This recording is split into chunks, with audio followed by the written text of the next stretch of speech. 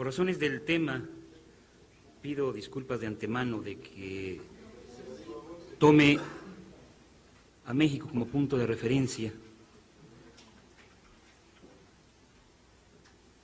Me pareció ineludible hacerlo de mi parte. Los cambios introducidos en los últimos diez años, que culminan con la llamada modernización salinista, no pueden ser calificados como un viraje circunstancial y debemos asumir todas sus consecuencias.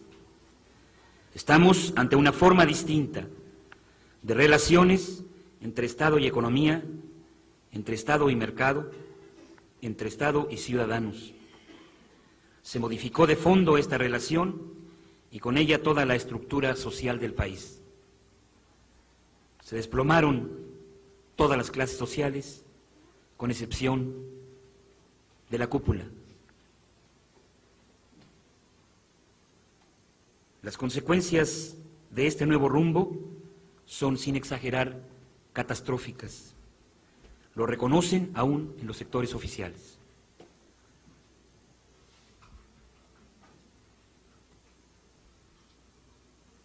En este proceso de reubicación del empleo se ha llegado a niveles inéditos de exclusión del empleo.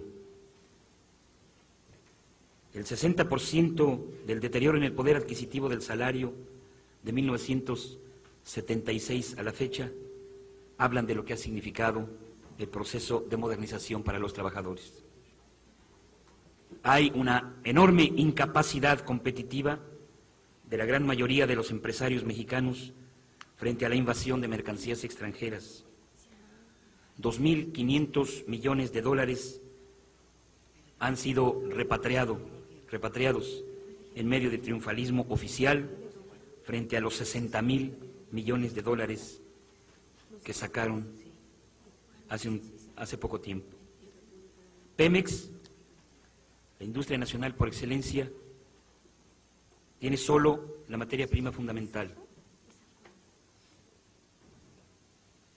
Casi todo lo que se refiere a la petroquímica básica ha sido vendida al capital extranjero.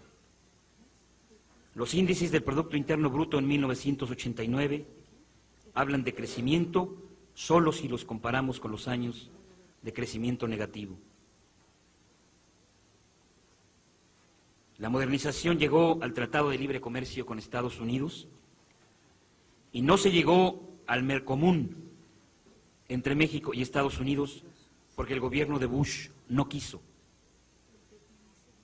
Porque le dijeron a los modernizadores mexicanos que un Mercomún es algo que implica también pactos militares y pactos políticos y que no hay la suficiente confianza en el país para hacerlo. Se promueve indiscriminadamente y con desesperación la inversión extranjera, sin considerar sus impactos en la economía para integrar ramas de ella o regiones. La vulnerabilidad económica del país lleva al gobierno a aceptar condiciones y hacer concesiones inadmisibles. El programa de maquiladoras es un gueto para los trabajadores mexicanos. Asegura a los empresarios norteamericanos acceso fácil a la mano de obra mexicana con bajos salarios y prácticamente no están sindicalizados y quedan desprotegidos. Se ha vuelto, por tanto, una opción atractiva para explotar a trabajadores migrantes mexicanos, manteniéndolos al mismo tiempo fuera de Estados Unidos. En el núcleo del nuevo rumbo está la preponderancia y la ideologización de lo privado como eje articulador del proceso de acumulación del capital y de una incorporación pasiva subordinada a los cambios operados en la economía mundial, particularmente a la necesidad de integración y expansión de la economía norteamericana.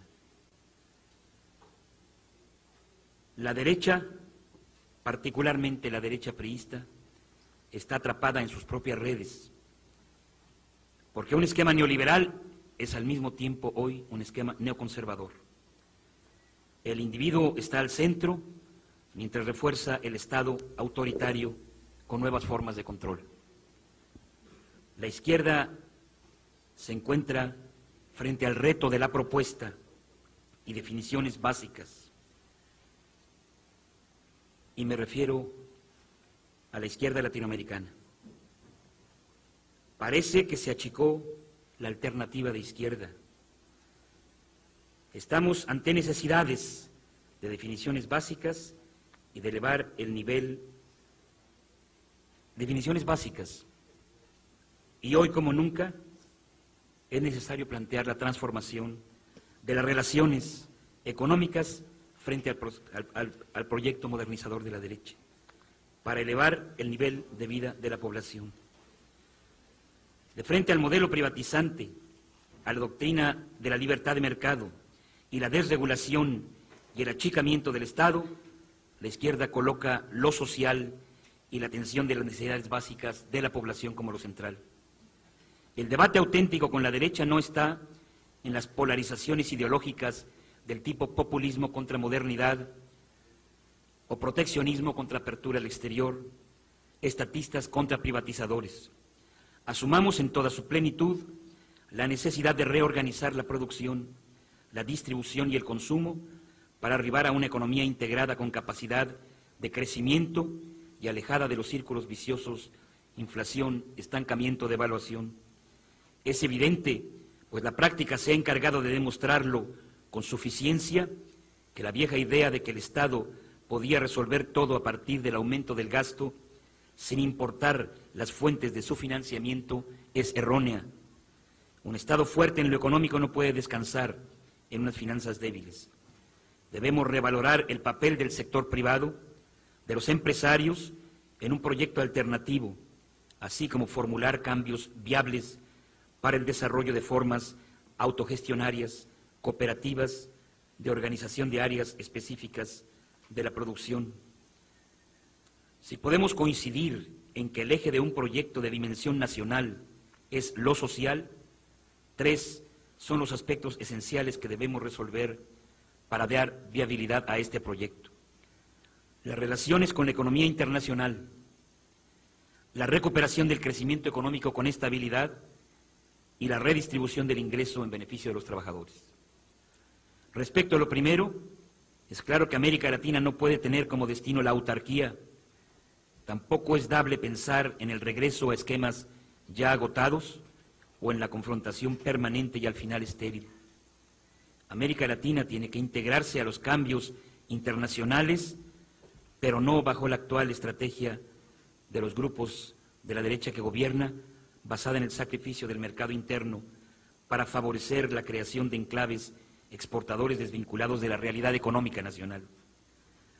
Nuestra inserción en la nueva economía internacional debe hacerse compatible con los objetivos de bienestar de la mayoría. En ese sentido, aspectos como el intercambio de tecnología, los nuevos flujos de capital, sea mediante inversión extranjera directa o mediante préstamos los acuerdos bilaterales o multilaterales en materia de comercio deberán vincularse indispensablemente a objetivos y necesidades internas y preservar nuestra capacidad de autodeterminación, que en esa materia no es otra cosa que la existencia de una dinámica eh, de la existencia de una dinámica que es el mercado interno, su desarrollo, la base de una industria con capacidad exportadora permanente. Es indispensable superar el rentismo y la especulación para volver a colocar la inversión productiva como eje de todo el proceso económico en el marco de un proyecto democrático, con elecciones libres que comprenda también sociedad y economía. Al romperse los anteriores marcos de la confrontación este-oeste, una de sus consecuencias más negativas es que se ha abierto aún más la brecha entre el norte y el sur, cuestión que afecta a todo el tercer mundo, pero principalmente a Latinoamérica y sobre todo a México, que tiene 3.000 kilómetros de frontera con Estados Unidos. El fin de Yalta es reforzamiento hoy de las zonas de influencia como la de América Latina, a la que el gobierno de Washington contempla como traspatio y la tiene como región de reparto, principalmente con Japón. Millones de chinos, africanos, latinoamericanos e indios están expectantes de un futuro en la pobreza y son observadores del despegue de Japón, Europa y Estados Unidos en la entrada al siglo XXI, donde y cuando las materias primas que producen los países con dependencia tecnológica se harán menos importantes para el mundo de los microchips y la nueva producción industrial y de servicios vinculada a la revolución de fin del siglo que será decisiva en esta etapa de la humanidad. Estos países tendrán mercados para sus viejas exportaciones, serán los testigos del enriquecimiento de otros, da la impresión que en el nuevo orden mundial los países atrasados quedaron sin futuro y perdida la esperanza en el sur, crece la inmigración al norte como nunca antes había sucedido. El asunto, por su profundidad y aparente carencia de soluciones, puede lanzarnos a un nuevo periodo de violencia internacional. Hacía mucho tiempo que no se veía a Estados Unidos invadir a un país como Panamá y casi quedaron ausentes las protestas. La invasión contó con el aplauso de Europa Oriental. Salinas de Gortari encabeza un gobierno que entra en todo en este juego y acepta el reforzamiento de América Latina y de México como zona de influencia de los Estados Unidos. Las relaciones con Estados Unidos solo pueden ser fructíferas en un marco de respeto, de soberanía, de igualdad y sobre todo de mutua conveniencia. La transición democrática en marcha nos conduce a revaluar conceptos como el de soberanía y de independencia nacional.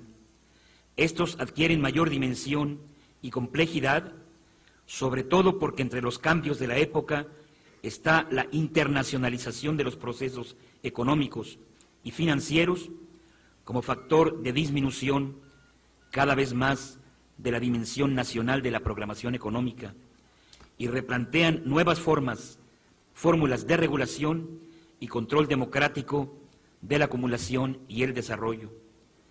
Mas de esta realidad tiene que surgir no mayor dependencia ni la aceptación de calidad de traspatio, sino debe ser la base de la integración latinoamericana a partir del nacimiento de una nueva relación entre Estados, sujetos y mercado.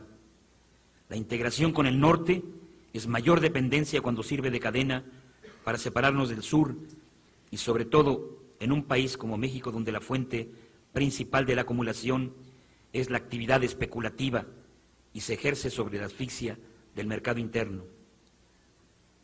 Sí, las relaciones con Estados Unidos van mucho más allá de la diplomacia y la articulación exige afinidades elementales también en el sistema económico. La perspectiva, tenemos que afirmarlo, está en un régimen de economía mixta y en el Estado social. Entendemos que una profunda reforma democrática del Estado debe abrir también los canales de decisión para definir los rumbos económicos. En ello podemos ponernos también de acuerdo con fuerzas políticas divergentes. Como consecuencia de la cada vez más disminuida dimensión nacional de la programación económica en relación a la internacionalización de estos proyectos, la derecha modernizante avanza con una plataforma a partir de los mecanismos y los órganos internacionales del poder del dólar como única alternativa viable. Todo aquel país que no parta de las tendencias internacionales del capital, de sus condiciones y necesidades, aparece como destinado al fracaso. Eso es falso. Toda América Latina tiene potencialidades patrióticas y de transformación social como para poner al centro el nivel de vida de los trabajadores y las necesidades del mercado nacional y a partir de ahí vincularse a los órganos internacionales. Sabemos que esto no es fácil, pero también sabemos de nuestras capacidades soberanas, aún en las condiciones de un mundo cada vez más internacionalizado, donde el papel de lo militar cobra nuevas interrogantes. Hoy mismo hay que preguntarse qué cosa es la OTAN y para qué sirve cuando tensa las fronteras internas de Europa y queda como un pacto político enormemente armado. Hoy mismo hay que preguntarse cuál es el significado de las nuevas alianzas de los Estados Unidos, mientras al siglo XXI reapunta Japón con una fuerza indiscutiblemente mayor. Para nosotros, países como México y Estados Unidos deben cobrar conciencia de que son países diferentes y de ahí partir. El American Dream no es el Mexican Dream. Del reconocimiento de la diferencia entre nuestras naciones depende la buena relación. Por otro lado, el concepto que tiene la Casa Blanca de la democracia norteamericana también se agotó en nuestro país. Los impulsos que dijo tener en Filipinas y en Nicaragua los perdió en México frente al fraude y a un sistema de partido de Estado autoritario, presidencialista y centralista. Sus protestas por el fraude en Chihuahua, el fraude contra el PAN en Chihuahua, no se oyeron por el fraude contra el PRD en Michoacán. El gobierno de México ya siente la seguridad de que Estados Unidos no demandará democracia en México. George Bush vio ya el camino de una relación y estable estable y aceptable con un régimen de partido de Estado. Pero se equivoca Salinas en cuanto a la sociedad norteamericana y su capacidad de influencia. No están a la vista los alcances de los cambios que se procesan en el mundo al final, al finalizar el siglo XX. Pero ya hicieron surgir nuevas necesidades, entre otras, la lucha por instituciones multinacionales democráticas. Ya no rigen las alianzas y los pactos surgidos de la Segunda Guerra Mundial. Se perfilan poderes políticos a nivel internacional y la humanidad requiere relaciones en un orden democrático para sobrevivir, pues los peligros de una nueva hegemonía son mayores en el siglo que pronto empezará. La comprensión internacional, pero sobre todo toda la confianza nacional en el proyecto democrático, vendrá en la medida en que la izquierda rebase su acción meramente defensiva. No podemos sostener la tesis de una economía mixta como defensa de los servicios públicos frente a la fuerza del mercado, sino como capacidad de orientación de un desarrollo nacional que pueda insertarse en el concierto económico mundial. La izquierda, con sus nuevos contenidos, no puede seguir mucho tiempo como mecanismo de equilibrio tiene que ser de poder. En la persistencia para proteger, defender y preservar, la izquierda está empezando a ser vista como fuerza conservadora, sobre todo cuando no ha logrado convencer de una alternativa frente al dinamismo del mercado mundial. No la hubo en los países socialistas y mucho menos la hay en un populismo sin proyecto actual. Pero las ideas del socialismo y el concepto del Estado social hoy pueden entrar en una época promisoria con la recuperación de la democracia como valor universal. La lucha por la sociedad de libres y de iguales ha entrado en una nueva fase de su historia. Gracias. Muchas gracias, Gilberto.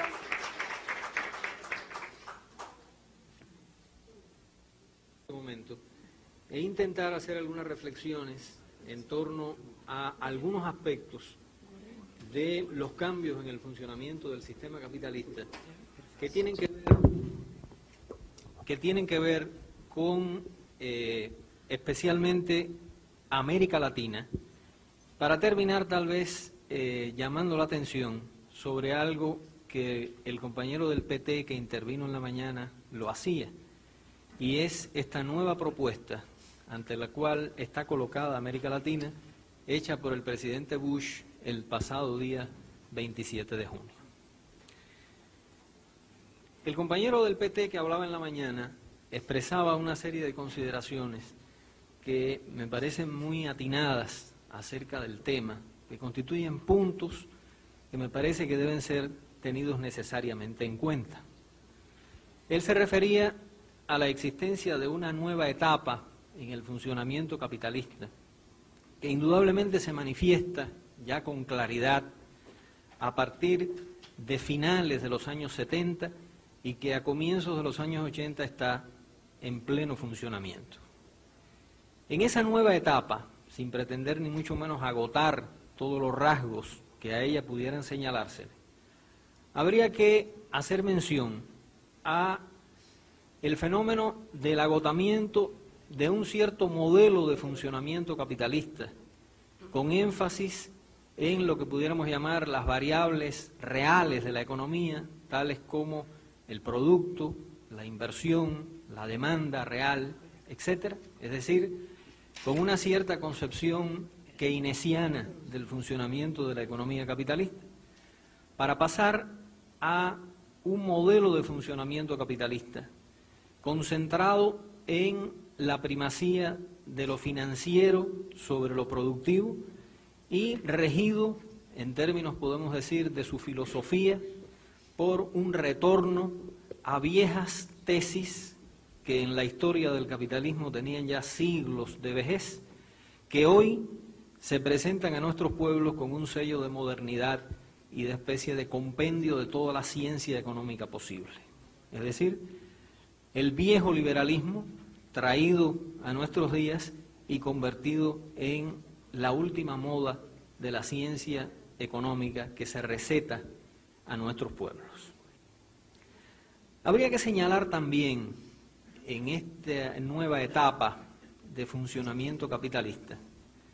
Los cambios ocurridos al interior de la economía norteamericana, que se encuentra eh, desde 1982, desde fines de ese año, envuelta en lo que podríamos llamar una larga etapa expansiva, después de sufrir una fuerte crisis en los años 81 y 82, etapa de expansión evidentemente larga, pero de ninguna manera exenta de profundas contradicciones, como puede ser la existencia planteada por el compañero del PT del déficit comercial, el déficit presupuestal, pero también quizás pudiera agregarse el profundo déficit general interno de la economía de Estados Unidos, que se manifiesta ya en estos momentos en la conversión de la economía norteamericana en una economía importadora de capital, que en buena medida sostiene su funcionamiento económico sobre la base del capital que importa desde otras regiones del mundo, incluida América Latina, y también el fenómeno muy importante de la erosión de la capacidad competitiva de la economía norteamericana, enfrentada cada vez más a un creciente desafío de otros polos de desarrollo capitalista. Es decir, que sería necesario quizá un poco caracterizar la situación de la economía norteamericana como ciertamente envuelta en una larga etapa expansiva, pero etapa expansiva que se produce sobre la base de evidentes contradicciones, de acumulación de esas contradicciones, y que convierte a la economía norteamericana en una economía que empieza a ser crecientemente dependiente ella misma del exterior para su propio funcionamiento. Junto a este hecho, habría que mencionar también otro rasgo que se muestra importante en esta etapa, que es la tendencia a la formación de grandes espacios económicos o de grandes bloques. Japón, con su área de influencia económica asiática y en la zona del Pacífico, la Comunidad Económica Europea, que ahora se apresta a recibir en ella a los países de Europa del Este desgajados del socialismo en condición de países periféricos de esa integración, y Estados Unidos, que junto a Canadá y en cierta medida con México constituye un espacio económico evidentemente conformado. En esa tendencia a la formación de grandes espacios económicos, la América Latina ha quedado hasta hoy relativamente fuera relativamente marginada y creo que esta propuesta que el presidente Bush acaba de plantear tiene mucho que ver con esta tendencia a la formación de grandes bloques y la necesidad para el capitalismo y la economía norteamericana de abrirse paso en la competencia con los grandes espacios de la Comunidad Económica Europea y de Japón y asegurar la unción o la integración de América Latina en un gran espacio económico definitivamente consolidado bajo el dominio norteamericano.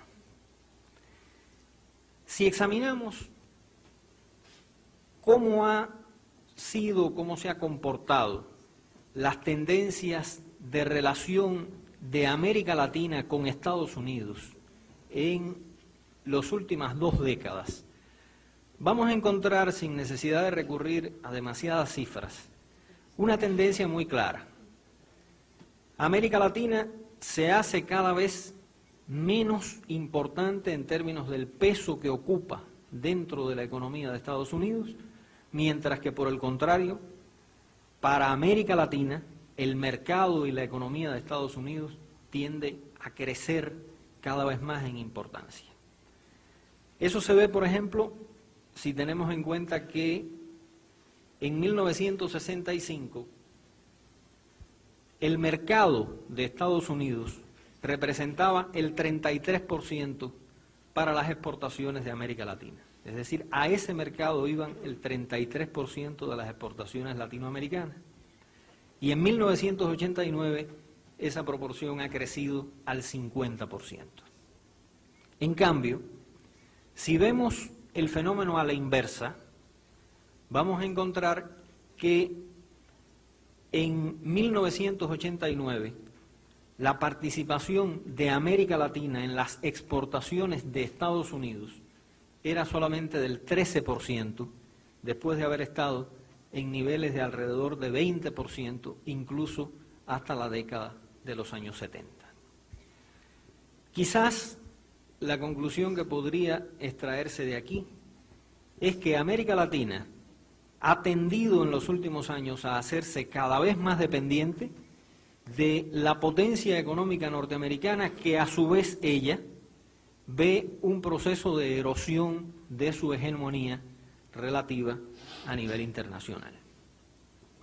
En este contexto, en el cual Estados Unidos no tiene otra cosa que ofrecerle a América Latina más que la condición de integración subordinada a su mercado bajo el dominio de políticas económicas neoliberales, se plantea la propuesta del presidente Bush, propuesta que intentaría comentar muy rápidamente en lo que se refiere a los componentes esenciales de su planteamiento. Esta propuesta contendría tres elementos fundamentales. Uno de ellos, el más importante, y que preferiría comentar al final, sería la propuesta de creación de una zona de libre comercio entre Estados Unidos y América Latina. Pero además tiene otros dos componentes que resultan sorprendentes por su irrelevancia e incluso hasta aspectos ridículos en su planteamiento. El primero de ellos sería una reducción de la deuda oficial con el gobierno norteamericano, deuda que asciende a unos 12 mil millones de dólares y que se plantea reducir en 7 mil millones de dólares. Sobre esto bastaría decir que la deuda oficial es apenas una pequeña fracción de la enorme deuda latinoamericana, que por tanto esta reducción no aporta absolutamente ninguna solución de fondo y que en cambio la posición norteamericana sobre los otros dos tipos de deuda que constituyen el grueso de ella, es decir, la deuda con la banca comercial y la deuda con las instituciones multilaterales como el FMI, el Banco Mundial o el BID, estas posiciones norteamericanas realmente están muy lejos, como todos sabemos, de representar un intento serio de solución de este tremendo problema. Con respecto a la deuda con la banca comercial, el plan Brady, todos lo sabemos, carece de una propuesta de solución de fondo y si fuéramos a caracterizarlo, tendríamos que caracterizarlo en términos de su insuficiencia de recursos financieros para asegurar lo poco que él propone, su lentitud, su carácter discriminatorio y, además de todo eso, la aplicación de la condicionalidad al estilo fondo monetarista. En lo que se refiere a la deuda con las instituciones multilaterales, la posición de Estados Unidos ha sido absolutamente inflexible en estas instituciones y hoy en América Latina asistimos al fenómeno de que estas instituciones como el FMI, el Banco Mundial y el BID, creadas supuestamente para aportar fondos para el desarrollo, hoy participan de la transferencia negativa de recursos que hace América Latina y están actuando en los hechos como otra banca comercial más.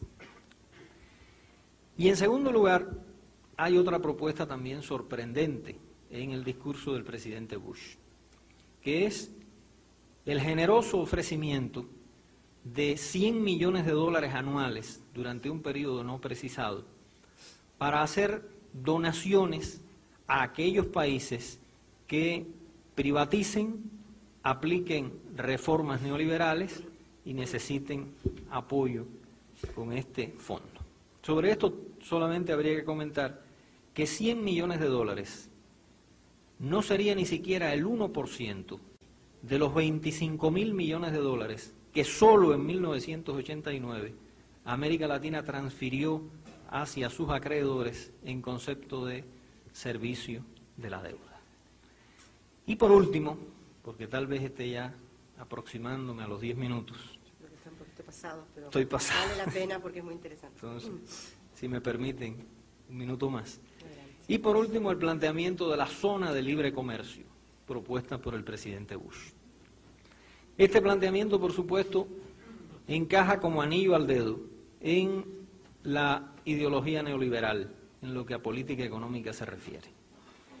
Esa zona de libre comercio no es más que el planteamiento de una igualdad formal en términos de reducción arancelaria que se establecería entre partes profundamente desiguales, como serían las economías latinoamericanas y la economía de Estados Unidos. Pero aún más, todos sabemos que no son las barreras arancelarias los principales instrumentos de proteccionismo y de discriminación contra el comercio exterior de América Latina, sino justamente las barreras no arancelarias sobre las cuales, por cierto, no se hace ningún compromiso. La ley de comercio exterior de Estados Unidos, hoy vigente, es una ley que si algo la caracteriza es justamente su carácter discriminatorio y proteccionista en contra de las exportaciones de América Latina. De manera tal que esta zona de libre comercio no sería más que probablemente la consolidación de un espacio económico norteamericano con traspatio latinoamericano para competir con los espacios económicos europeo y japonés, en los cuales a América Latina el destino que le tocaría sería el de apéndice subordinado en medio de la aplicación de las políticas neoliberales. Yo me excuso por haberme excedido del tiempo reglamentario. Agradezco mucho, compañero. Entonces, haría uso de la palabra el compañero del Movimiento Bolivia Libre.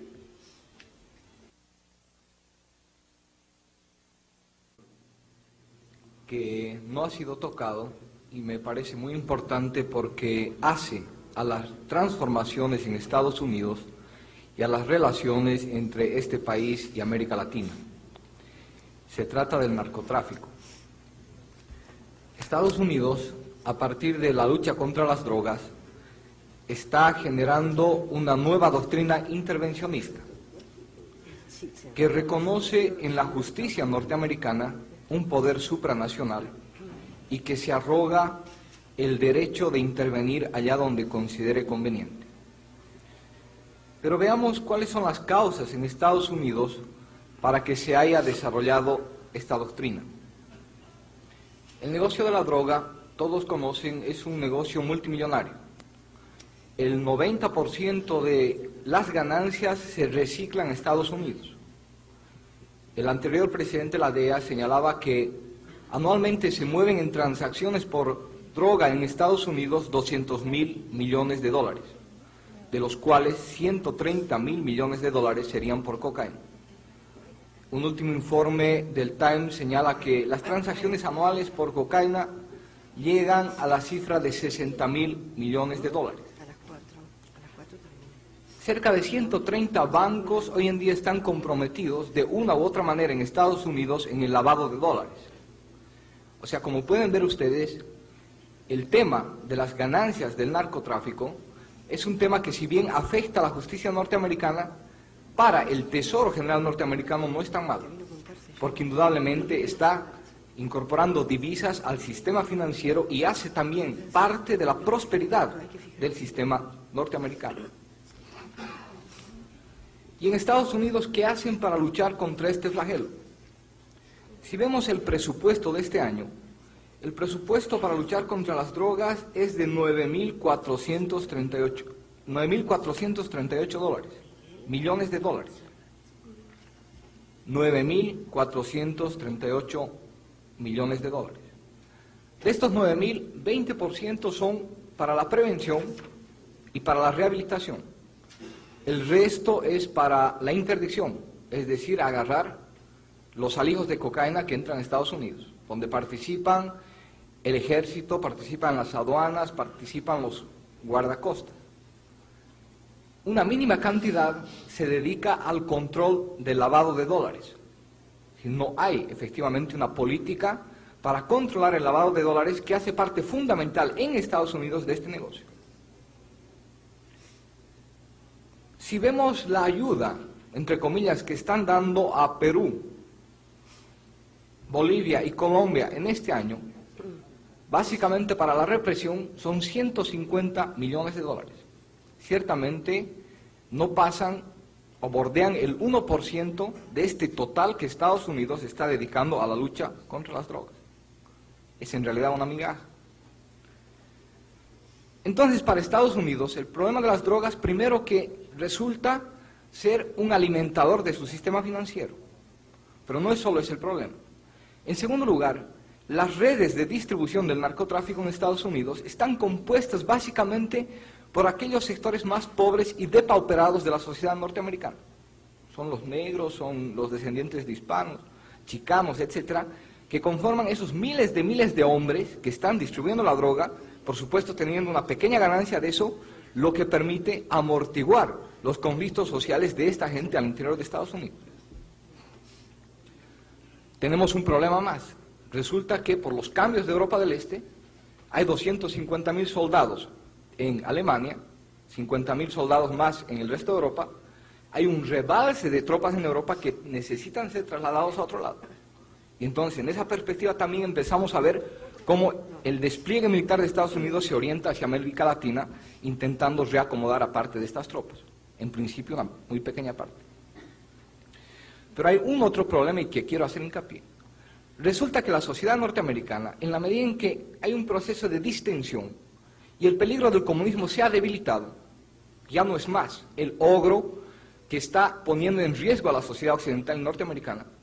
Hay la necesidad de buscar un otro elemento que cohesione a la sociedad norteamericana. Y este otro elemento es justamente la lucha contra el narcotráfico, la lucha contra el narcoterrorismo. Últimas encuestas señalan que el 50% de la población norteamericana encuentra en el tema de las drogas uno de los problemas centrales de Estados Unidos. Y entonces, indudablemente, empieza a ser el tema de las drogas un elemento ideológico cohesionador de la sociedad norteamericana. Y de ahí que tiene mucha importancia. Pero resulta que la administración Bush no puede resolver el problema de las drogas en su propio país. Y entonces tiene que orientarse, por lo menos aparentemente, a resolverlo en el exterior. La doctrina Bennett, que es el el, que, el estratega de la guerra contra las drogas, ha fracasado estrepitosamente al interior de los Estados Unidos. No tiene un éxito en ningún campo, en prevención, en control de alijos, en disminución, etc. Entonces, fundamentalmente se vuelca a luchar contra las drogas en el exterior. Se busca destruir la oferta de drogas, la oferta de la hoja de coca, la oferta de la cocaína en sus lugares de origen y no lucha contra el consumo en su propio país. Y entonces esta es una nueva doctrina que está surgiendo en América Latina como parte de toda la estrategia de dominación norteamericana sobre América Latina. La lucha contra las drogas dirigida hacia América Latina. Es una nueva doctrina intervencionista. Definitivamente, en relación a este caso, la administración norteamericana reconoce en su propia justicia, en la justicia norteamericana, un poder supranacional. Y efectivamente, el 28 de febrero, la Corte Superior Norteamericana aprueba una resolución mediante la cual las fuerzas norteamericanas, sean de la DEA, sean de la CIA, pueden hacer operaciones encubiertas en el continente en defensa de la seguridad nacional. Operaciones que van desde el secuestro, como es en el caso de México, operaciones como es la invasión a Panamá, e inclusive legalistas norteamericanos en un simposio han declarado que esa resolución permitiría hacer golpes de Estado en América Latina. Efectivamente, los Estados Unidos han legalizado ese poder supranacional sobre nuestro continente. Y veamos algunos casos muy concretos rápidamente. En el caso de Panamá, todos sabemos lo que ha sido la invasión, no vale la pena comentar más al respecto, pero sucede que seis meses después, el señor Levitsky, que es el secretario adjunto del Departamento de Estado, dice que y reconoce que la droga era una sola de las causas por las que invadieron a Panamá. que había una serie de otros elementos más, de tipo político, de seguridad, de tipo militar, que los han llevado a invadir a Panamá. Siendo que el argumento para entrar a Panamá era agarrar a Noriega, que era un convicto por acusación de tráfico de drogas en Estados Unidos. Y entonces el señor Levitsky va más allá. Cuando la prensa le pregunta y le dice, pero bueno, con este argumento podrían invadir otros países, o es que ustedes van a respetar la soberanía. Entonces Levitsky contesta y dice, ¿de qué soberanía se puede hablar en las calles de Medellín? ¿De qué soberanía se puede hablar en el Alto Vallegas en Perú? ¿De qué soberanía se puede hablar en el Chapare en Bolivia? Allá no hay soberanía, los narcotraficantes han copado todo eso, por lo tanto no se puede hablar de soberanía. Y es decir, justamente este otro elemento hace parte de toda esa visión ideológica, de toda esa doctrina intervencionista. Como en nuestros países, en algunos de Latinoamérica, el narcotráfico ha avanzado tanto, no hay soberanía, por lo tanto, Estados Unidos tiene todo el derecho para invadir estos países. Compañero, le queda un minuto nada más, por favor. Muy rápidamente. El caso de Colombia es muy parecido. El día 15 de diciembre muere Rodríguez Gache en un combate donde participan tropas norteamericanas, siendo que estaban prohibidas. Eh, en una investigación del diario Newsday, el 4, de el 4 de mayo dice que participaron estas tropas norteamericanas. En el caso del Perú hay bases en Alto Vallagas, en el caso de Bolivia se está forzando a la militarización. Y me parece fundamental que a partir de todos estos hechos nosotros rescatemos tres consecuencias. La primera que hace al problema de la soberanía de nuestros países. La soberanía de nuestros países y en especial de los países andinos está siendo seriamente amenazada con esta nueva doctrina intervencionista. El segundo que hace al despliegue de tropas norteamericanas en el continente. Tropas que van viniendo, en el caso de Bolivia, eh, para hacer acción cívica, van viniendo para hacer eh, eh, asesoramiento militar, en su momento han venido para hacer acciones conjuntas con el ejército boliviano. Y el tercer aspecto, las consecuencias que tendría esta política para el resto de países del continente, las consecuencias geopolíticas que tendría esta política en relación al tráfico de drogas para el resto del continente. Me parecía fundamental incorporar este tema porque hace a los cambios que están sufriendo las relaciones entre Estados Unidos y Latinoamérica. Gracias. Muchas gracias a usted, compañero. Antes de convocar al siguiente expositor, que es el MLN de Uruguay. Se entendiera la intervención. Por favor, por favor, perdón. Me pidieron que se identificaran partido y nombre para los periodistas. Jorge Cuartino, del MLN Tupamaros, Uruguay. Yo quisiera que se entendiera la intervención que voy a hacer como un complemento de las intervenciones que esta mañana hicieron el compañero cubano y el compañero brasilero, el entendido de que más que nada intentamos abordar esos temas porque pensamos que estamos en pleno acuerdo con los elementos centrales que allí se dijeron. Pero creemos importante, como un modesto aporte, tratar de, hacer una serie de precisiones. Nosotros diríamos que estamos viviendo ya desde hace alguna década o algo más. Una fase que, que es una fase más de desarrollo del sistema capitalista, con todas las contradicciones propias del sistema, que sin tratar de entrar en, en teorizaciones, porque no es el, el momento, podríamos decir que es una fase transnacional muy compleja, que nace de un elemento central de funcionamiento del sistema capitalista, como todos sabemos, que es la concentración y la centralización del capital. Esta concentración y centralización del capital, que es lo que necesita permanentemente el sistema capitalista para invadir económicamente al mundo. La expansión internacional es para el sistema capitalista un fenómeno lógico de funcionamiento y de su desarrollo. Ya que se habló de, entrar en algún tema más económico, yo me voy a permitir leer una frase de un economista egipcio, Samir Amin, que pensamos que logra, muy resumidamente, dar la idea general. En la economía capitalista, el mercado se amplía sin cesar porque la búsqueda de la ganancia genera la competencia y esta impulsa a cada firma a acumular, a crecer y por ello a vender sus productos y buscar materias primas más baratas más lejos. El mismo mecanismo que ha ampliado el mercado local y ha creado el mercado nacional impulsa a la firma a vender en el extranjero. Esta tendencia del capitalismo a ampliar los mercados es la razón profunda del desarrollo del capitalismo internacional. Esta ley que hizo que fuera pasando por diversas fases de desarrollo del sistema capitalista ha llevado a esta transnacionalización, a esta competencia entre oligopolios cada vez más fuertes. Y es lo que ha dado paso al imperialismo como elemento cada vez mayor en términos de realidad económica mundial, internacional y transnacional. Proceso que todos sabemos ha generado dos tipos de países, países desarrollados, centrales del capitalismo, y países subdesarrollados y dependientes, de los cuales América Latina es un muy buen ejemplo. Y que precisamente ese proceso permanente de acentuación del desarrollo del sistema capitalista ha profundizado la brecha entre el subdesarrollo y el desarrollo.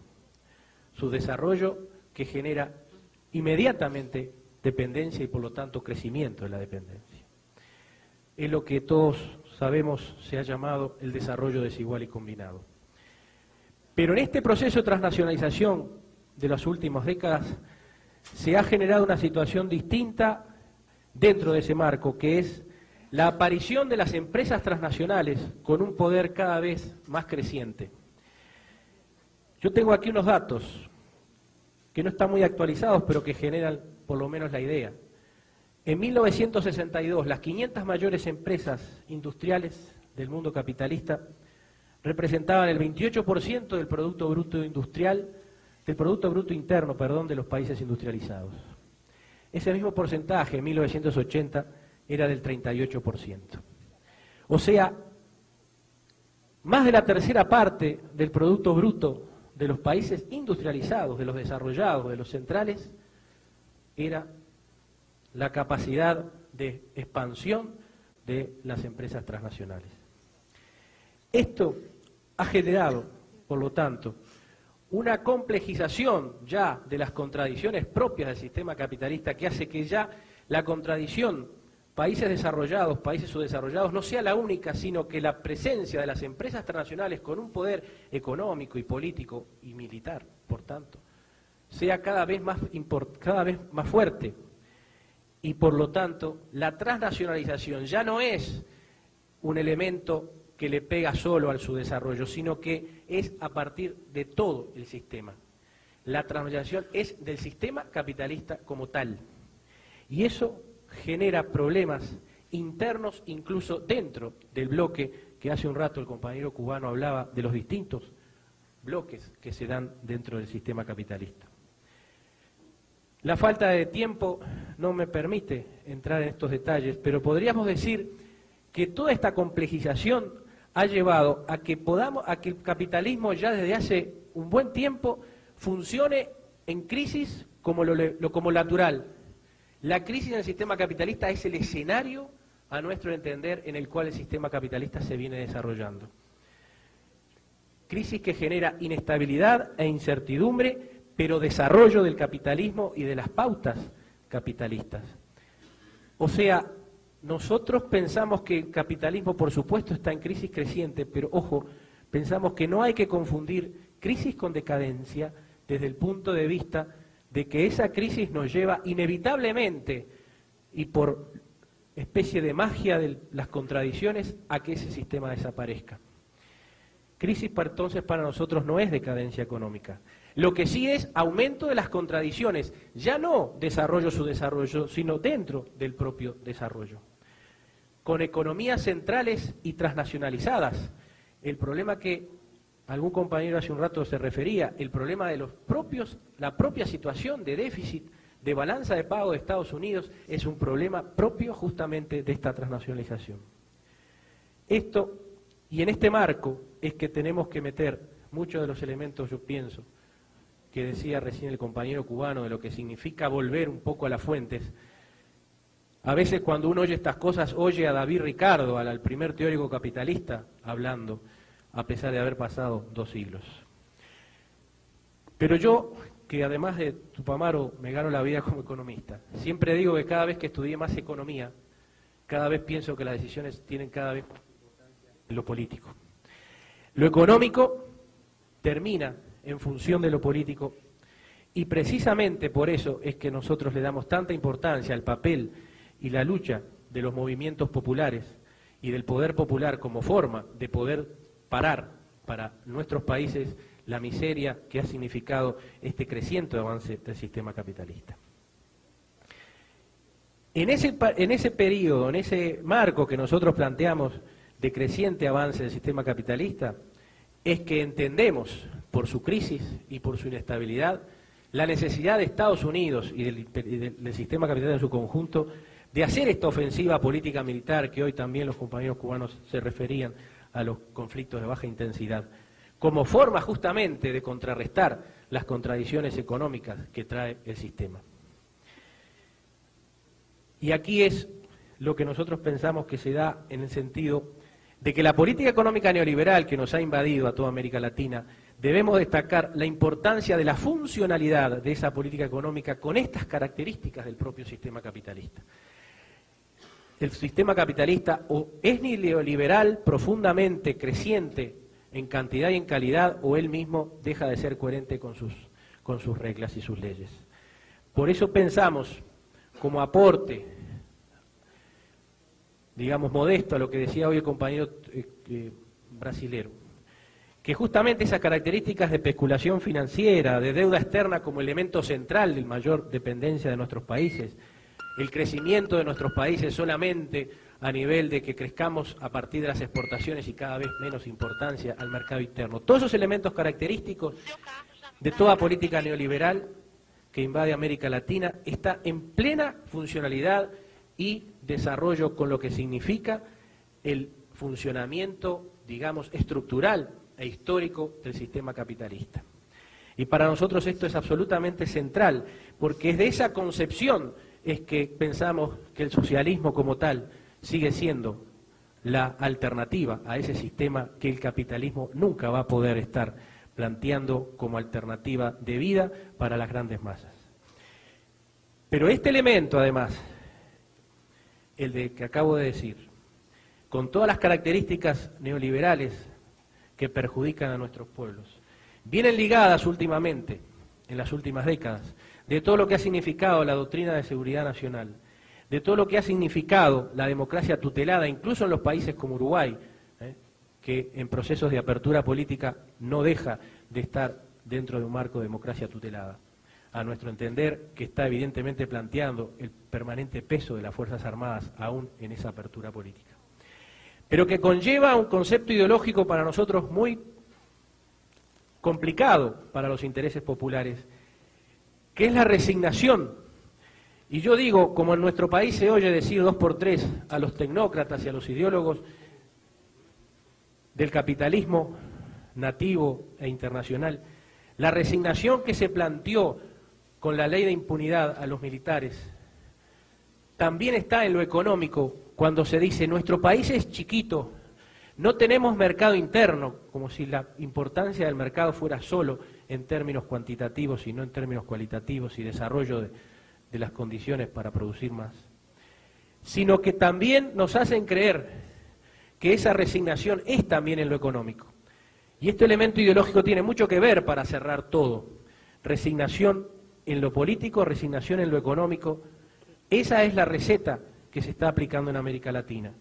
Frente a todo eso, y porque pienso que el tiempo se me está terminando y porque en otros momentos lo vamos a poder retomar, es que nosotros pensamos que en el conjunto de las amplias masas populares, la respuesta de la izquierda en América Latina, si quiere procesos revolucionarios, procesos de poder popular, es mayor democracia, en lo económico, en lo social, en lo político. Mayor democracia que esté dándole mayor participación a todos los sectores que son más que nada atacados por esta política y por este funcionamiento estructural del sistema capitalista. Retroceso y resignación que ha llevado incluso a retrocesos ideológicos, a reflujos políticos, pero que en definitiva el propio sistema capitalista, por su propio funcionamiento, no permite que en el mismo se puedan resolver. Y por lo tanto, es apostar a esas masas, apostar a esa participación popular a través de organizaciones revolucionarias, a través de las mayores confluencias posibles de todos los sectores que representan a las amplias masas, es que se va a poder llegar a un proceso democrático de poder popular que enfrente a, esta, a este capitalismo que aunque nos lo quieran adornar de modernización o de lo que sea, nunca va a poder dejar de ser explotador de, las grandes masas. Y en ese sentido, para terminar, porque pienso que, que además este tema lo vamos a retomar más adelante, jugarse para nosotros al cambio en las relaciones sociales de producción tal vez sea uno de los elementos centrales para poder ir hacia un camino de superación de todas estas trabas, de todas estas resignaciones y de todas estas correlaciones de fuerzas que a veces no nos favorecen, pero que evidentemente tampoco resuelven los problemas intrínsecos e inherentes del sistema capitalista. Muchas gracias, compañero. Y ahora llamaríamos...